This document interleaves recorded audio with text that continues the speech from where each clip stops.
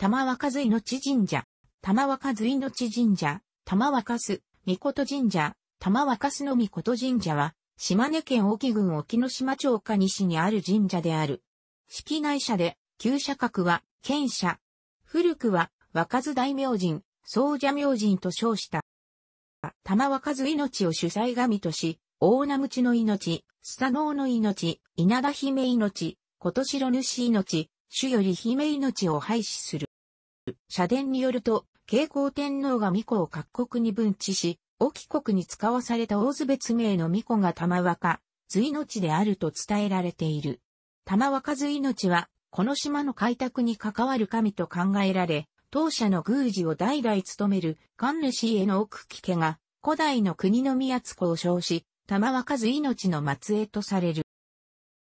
日本の神々神社と聖地七三院によれば、玉若図命は危機には全く登場しない地方神で、その動きは明らかではないのだという。しかし、同書では、東内北西部にある水若洲神社と鎮座地の地理的、歴史的条件が極めて似ていることから、両者祭神に共通する若洲は、この島の開拓に関わる重要な意味を持つ語で、あっと推測されている。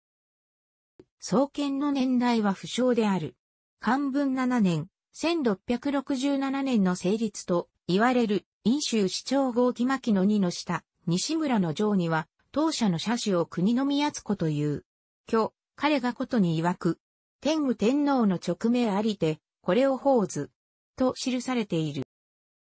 日本三代実録上岸13年、871年、ウルー8月29日の上に、聖六以上若津神の深海を15一下へ少女するという記事があるが、日本の神々神社と聖地七三位によれば、は花が垂れたる、または冠、旗などにつける垂れ飾りの意なので、これを玉と読み、若津神を当社のこととする意見が強いのだという。上記の日本三大実録における記事が当社のことであるなら、これが資料における所見となる。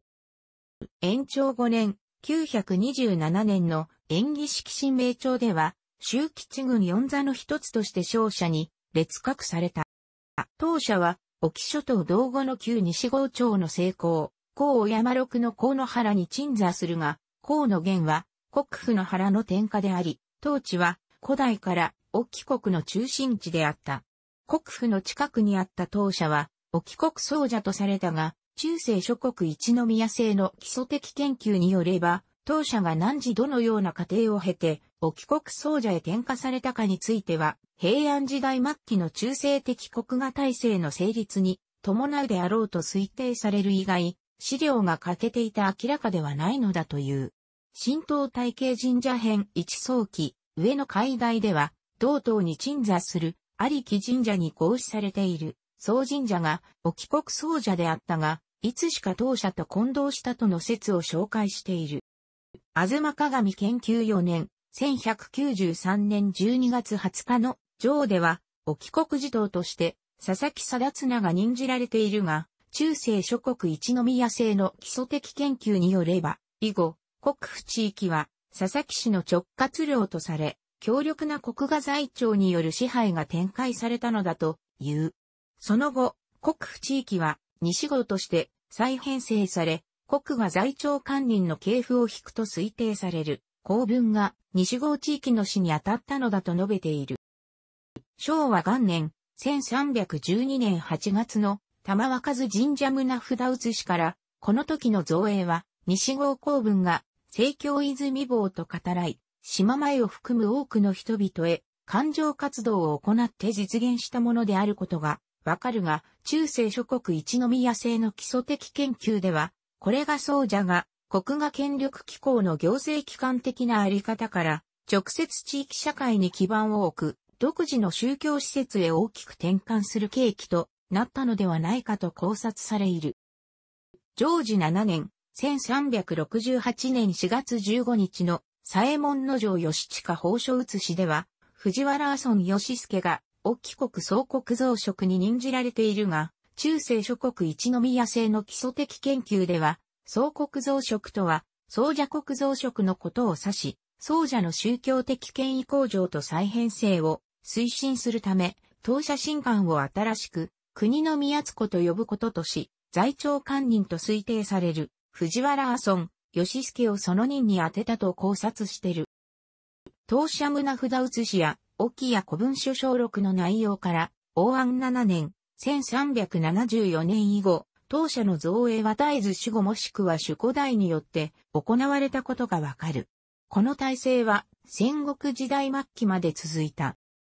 工事3年、1557年7月4日の総社5月5日祭礼立用注文案の記述から、東郷、飯田、犬来の3地域の公文が連名で当社へ納めるべき費用の内容と数量を確認し、これ会がこれら周辺村落の寄進で行われていたことがわかる。これに関し、中世諸国一宮制の基礎的研究では、当社が守護、戦国大名権力との関係とは別に、直接その周辺地域の村落に基盤を置く、宗教施設としての性格を強めてきたことを意味するもので、そうした新しい情勢への対応のゆえに、近世社会への移行後も引き続き大きな宗教的勢力を保持しとくと推定している。飲州市長号機、沖国新名帳や飲州新名帳には、小一くらい玉若津大明神と記され、同じ沖ノ島町の北部の旧五湖村氷に鎮座する、沖国一宮水若洲神社の生産位よりも神が上であった。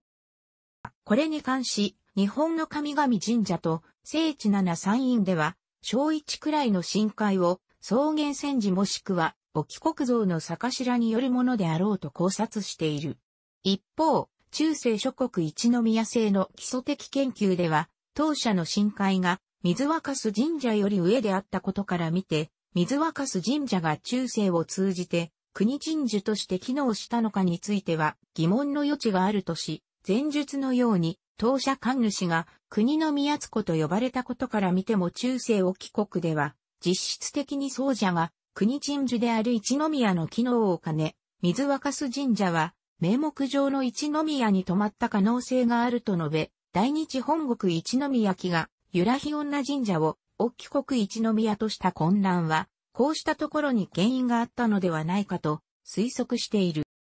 飲州市長号木巻の二の下、西村の城では、北の高原に総者と、こうして、大こそあり。花表、随ひもろぎ、拝殿、本宮美しくして、かつきゅうりたり。司法の賞賛皆大にして、令状他に異なり、と江戸時代初期の当社の様子を伝えている。